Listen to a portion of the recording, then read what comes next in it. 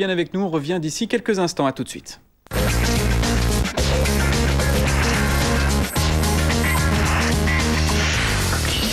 Salut à tous au sommaire de cette édition du football avec la finale de la Coupe d'Italie et la victoire au bout du suspense et des tirs au but pour la Lazio Rome. Du suspense encore et toujours en Ligue 1, Marseille et Bordeaux ne se lâchent pas d'une semelle en tête du classement. Giro, la victoire d'étape pour Menchoff, le maillot rose pour Di Luca. Cette cinquième étape a été marquée par la défaillance de l'Ansa nous terminerons cette édition avec du tennis et le Masters 1000 de Madrid Nadal, impérial sur ses terres, Gilles Simon sans souci. Et chez les dames, Dinara Safina enchaîne les victoires et Amélie Mauresmo dompte Elena Dementiva.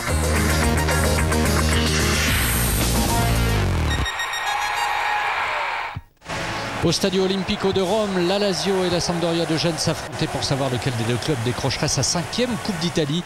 Et ce sont les Romains qui prennent les devants dès la cinquième minute. Sur le côté gauche, Moro Zaraté se joue de la défense génoise pour décocher un tir puissant des 20 mètres.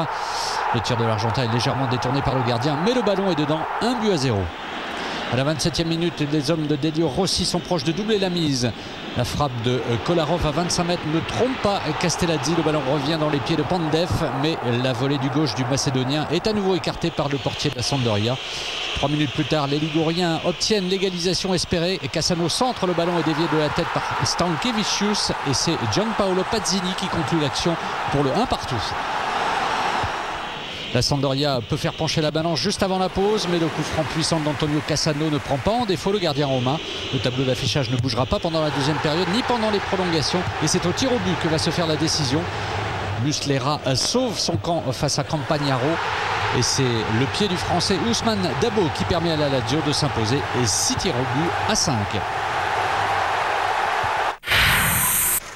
L'irrésistible Barça a remporté son premier titre de la saison en s'imposant dans la Copa del Rey à Valence face à l'Athletic Bilbao 4 à 1. Les buts catalans sont signés Touré, Messi, Boran Kirkish et Ravi Hernandez. C'est la 25e fois de son histoire que le club catalan soulève le trophée. En première ligne, Manchester United prend le large après sa victoire contre Wigan, un match en retard de la 33e journée.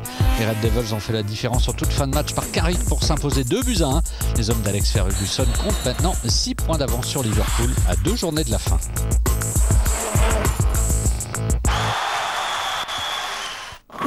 Suite et fin de la 32e journée de Bundesliga. Mercredi Stuttgart qui a fait un pas vers la Ligue des Champions avec un succès de buts à 1 sur la pelouse de Schalke 04. Stuttgart est quatrième au classement à deux longueurs seulement de Wolfsburg et du Bayern Munich qui se partagent la tête du championnat à deux journées de la fin. Après Juve qui avait succédé en avril à Jürgen Klinsmann, Louis van Gaal rejoindra le Bayern Munich comme entraîneur à la fin de la saison pour une durée de deux ans. Le néerlandais qui a travaillé précédemment à l'Ajax d'Amsterdam à Barcelone et à la tête de la sélection des Pays-Bas officier à l'AZ Alkmaar. Sous sa direction, le club vient de remporter son premier titre de champion des Pays-Bas depuis 81. Soirée à haute tension en Ligue 1 hier soir et duel à distance entre Marseille et Bordeaux. Les Phocéens, dans un premier temps, sont allés l'emporter sur la pelouse de Nice de but à rien. Le premier est l'œuvre de Mamadou Niang, son 11e de la saison. Pratiquement jamais mis en difficulté, l'OM gère tranquillement son avance et va céder le match à l'heure de jeu grâce au sixième but en Ligue 1 de Brandao. Marseille s'impose 2-0, l'OM a fait le boulot mais, mais Bordeaux ne s'est pas loupé à Valenciennes. Et oui, pour rester au contact de l'OM en haut du classement, les Girondins devaient s'imposer à Ningesser face à Valenciennes. Ça commence mal avec un penalty pour VA converti par Danick après cette faute de Chalmé. 1-0 pour les nordistes. Mais Bordeaux euh, va pousser en s'appuyant sur les côtés. Et suite à un débordement de Tremoulinas, Fernando euh, va réussir à égaliser. Un partout à la pause et en deuxième période d'une tête rageuse, Johan Gourcuff donne la victoire à Bordeaux face à un Valenciennes réduit à 9. Marseille et Bordeaux ont gagné. Victoire aussi pour Saint-Etienne au Havre. Un succès qui condamne les Normands à la Ligue 2. Paris est allé s'imposer 1-0 au Mans sur un but de Kazman. Au classement statu quo en tête, Marseille et Bordeaux sont ex aequo à trois journées de la fin. En bas de tableau, Saint-Etienne est sorti de la zone rouge. Satisfait pour la Pologne, avertissement pour l'Ukraine. Le comité exécutif de l'UEFA qui a visité les différents stades qui doivent accueillir l'Euro 2012 n'a pas aimé les installations ukrainiennes et n'a validé que le stade de Kiev contre quatre stades en Pologne. Michel Platini, le président de l'UFA, pose un ultimatum aux Ukrainiens. En Ukraine, Kiev est confirmé comme ville haute, mais devra apporter des preuves supplémentaires de ses préparatifs avant le 30 novembre 2009 pour pouvoir organiser la finale. Les villes ukrainiennes de Liev, Donetsk et Kharkiv bénéficient d'un sursis jusqu'au 30 novembre prochain afin d'apporter la preuve qu'elles remplissent toutes les conditions nécessaires à l'organisation du tournoi en termes de stade, d'infrastructures aéroportuaires, de transport régional et d'hébergement. Un ultimatum pour l'Ukraine qui doit à tout prix disposer de quatre stades aux normes comme son voisin polonais. Nous avons constaté des progrès lors des derniers mois, mais il reste encore énormément de travail à effectuer. Il y a de nombreux problèmes d'infrastructure qui doivent être résolus en Ukraine pour convaincre le comité exécutif que les villes candidates peuvent être nommées villes hautes pour le FA 2012.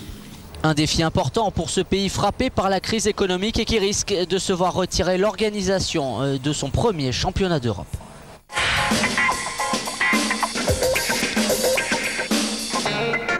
Denis Menchoff a fait parler sa puissance lors de la cinquième étape du Giro qui arrivait en Autriche hier. Le russe s'impose et le maillot rose revient à l'italien Danilo Di Luca de la LPR. Tout s'est joué dans la dernière ascension de l'Alpe di Chiusi en Autriche. Le peloton est emmené par les Liquigas d'Ivan Basso. Ils mènent un train d'enfer dans la montée finale et ils vont faire craquer Lance Armstrong qui va concéder 3 minutes à l'arrivée. Je suis énormément fatigué. Cette ascension était difficile, je savais que je serais derrière et qu'il faudrait grimper à mon tempo pour limiter la casse et perdre moins de 2 minutes. Bon, j'en ai perdu 3, mais ça va. L'écrémage se fait par l'arrière. Cunego et Simoni ne tiennent pas la cadence. Ivan Basso fait le ménage. L'Italien vise un deuxième succès après le Giro 2006. À l'arrivée, il va quand même laisser ses compagnons s'expliquer au sprint. Et à ce petit jeu, c'est Denis Menchoff de la Rabobank qui se montre le plus rapide devant Danilo Di Luca et Thomas Lokvis de la Columbia. Le russe rentre ainsi dans le cercle fermé des vainqueurs d'étape sur les trois grands tours. On l'écoute. Durant l'ascension, j'avais de bonnes sensations. Je ne connaissais pas cette montée, mais j'ai vu que le sprint avait démarré à 350 mètres de l'arrivée et c'est une bonne distance pour moi. Quand Sastre et Danilo Di Luca ont commencé à sprinter, j'ai fait pareil et j'ai tout donné. Mais le grand vainqueur du jour, c'est Danilo Di Luca qui retrouve le maillot rose deux ans après sa victoire dans le Giro 2007. Ivan Basso plaçait de grosses accélérations avant de ralentir et chaque nouvelle accélération faisait très mal. Le sprint a été très long et dur, mais je ne pouvais pas battre Menchoff, il était trop fort. Une victoire d'étape, le maillot rose de leader, tout roule pour Danilo Di Luca et LPR et ce Giro qui quitte les Dolomites aujourd'hui. Le classement général de ce Giro, Danilo Di Luca en tête devant Thomas Lokvis, Levi Leipheimer est quatrième à 43 secondes, Ivan Basso est sixième. Par contre, c'est peut-être déjà fini pour Lance Armstrong. L'Américain poète au 22e rang à 3 minutes 34 de Di Luca aujourd'hui, sixième étape entre Bressanon et Birksen-Mirofen.